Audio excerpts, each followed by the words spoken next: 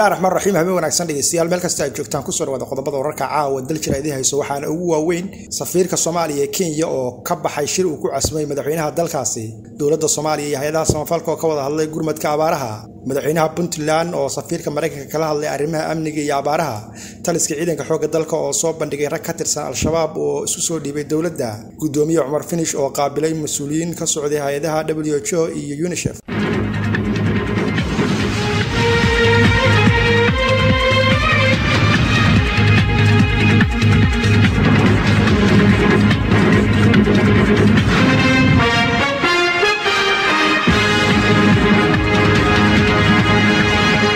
intaasi waxayan qodobada warka ugu door korana warkana caawa waxaa stuudiyaa dal jira magaalada boosaaso idinka soo jeedinaya anigoo ah maxamed laki soo gudbinta warka fiidnimo ee daljir waxaa fududeeyey sombank sombank ugu imow adeegyo banki oo dhammaystiran hufnaan iyo damaanad qaad adduunka oo dhan. Sombank samaan sarrayn iyo shaqo saafi ah. Sombank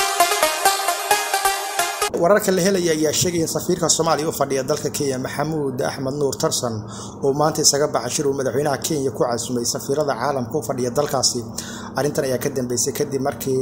shirka sidoo kale lagu casumay wakiilka somalilan u fadhiya kenya iyadoo weliba loo ogolaaday in caalamka somalilan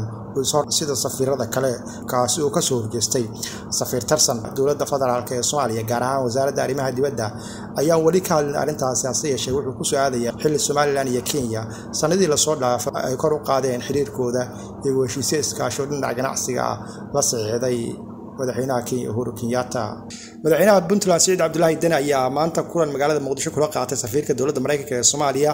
larry andren kulanka ayaa waxaa looga hadlay guud ahaan xaaladda soomaaliya gaar ahaan amniga iyo abaaraha. Safiirka dowladda maraykanka ee soomaaliya larry ayaa sheegay in maraykanka uu sii xoojin doono taageerada ay siiyaan soomaaliya iyo arrimaha amniga iyo abaaraha madaxweynaha puntland siciid cabdulaahi deni ayaa dhankiisa uga mahad celiyey safiirka taageerada uu maraykanka siiyo soomaaliya isagoo sheegay in puntland ay diyaar u tahay inay wada shaqayn xoogan la yeelato safaaradda maraykanka ee muqdisho. Waxaa maalintii labaad kulan uga socda magaalada nairobi ee dalka kenya shir ay leeyihiin wasaaradda arrimaha gargaarka heer federaal iyo heer dowlad goboleed iyo hay'adaha african development bank iyo urur iyo hay'adda save the children soomaaliya ujeedka shirkan ayaa ah ujeedka shirkan ayaa ah in laga doodo mashruuca gurmadka african development bank ee ka hirgeliyay soomaaliya labada kun iyo sideed tobankii ilaa labada kun iyo labaatan iyo kowdii in layska wareysto baahiyaha xaaladaha bini'aadamnimo ee ka jira soomaaliya. Wasiirka gargaarka iyo maareynta musiibooyinka maamulka koonfur galbeed cabdinaasir cabdi caruush ayaa kulanka ka jeeday warbixin faahfaahsan oo ku aadan abaaraha dalka guddiga kumeel gaarka ee labada aqal ee baarlamaanka federaalk soomaaliya ee loo xilsaaray diyaarinta sharciga miisaaniyadda qaranka sanadka ayaa maanta fadhigooda ugu horeeyay ku yeeshay magaalada muqdisho.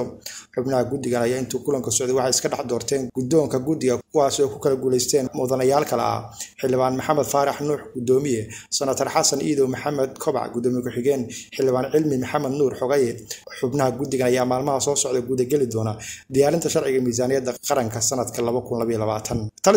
xooga dalka soomaaliyeed gaar ahaan qaybta lixdanaad ee howlgalka deegaanada maamulka koonfur galbeed ayaa maanta magaalada baydhabo ku soo bandhigay saddex dhalinyaro ah oo ka tirsan ururka al-shabaab balse isu soo dhiibay dowladda. Raggan oo magacyadooda lagu kala sheegay maxamed maadey iyo sidoo kale ibraahim maxamed ibraahim iyo aadan cali xuseen ayaa baydhabo waxaa ku soo dhaweeyey saraakiil ka tirsan ururka afartan toddobaad guutada sideedaad ee qaybta lixdanaad ee ciidanka xooga dalka soomaaliyeed. Gudoomiyaha gobolka banaadir ahna duqa magaalada muqdisho maxamed